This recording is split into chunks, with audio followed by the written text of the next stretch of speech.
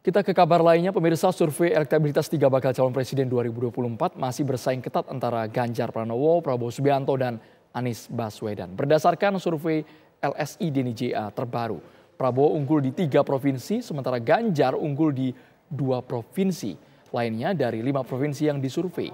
Sementara itu survei terbaru MSRC, elektabilitas Ganjar masih yang tertinggi.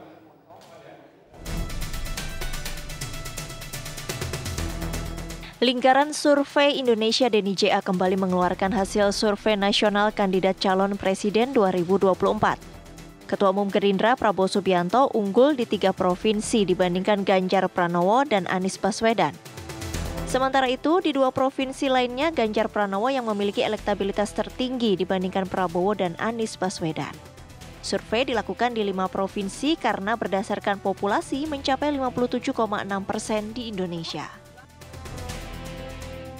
pertarungan teritori di lima provinsi terbesar. Jadi lima provinsi ini jika digabung itu ternyata populasinya mencapai 57,6 persen populasi yang ada di Indonesia. Mana saja? Ini bisa kita lihat ada lima provinsi lengkap dengan base-nya atau dengan populasi yang adanya. Jawa Barat, Jawa Timur, Jawa Tengah, Sumatera Utara, kemudian juga Provinsi Banten ya. Sementara itu Saiful Munjani Research and Consulting menunjukkan elektabilitas Ganjar Pranowo berada di urutan pertama dengan raihan 35,9 persen. Elektabilitas Ganjar mengalahkan Prabowo Subianto yang memperoleh 32,8 persen dan Anies Baswedan mendapatkan 20,1 persen.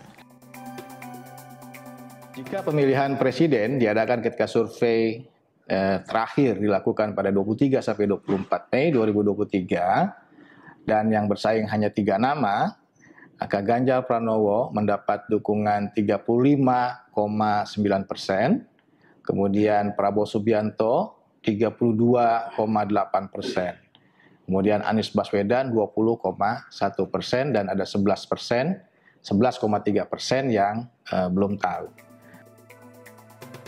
Pemilihan sampel dalam survei ini dilakukan melalui metode random digit dialing, yakni teknik memilih sampel melalui proses pembangkitan nomor telepon secara acak. Tim TV One mengabarkan.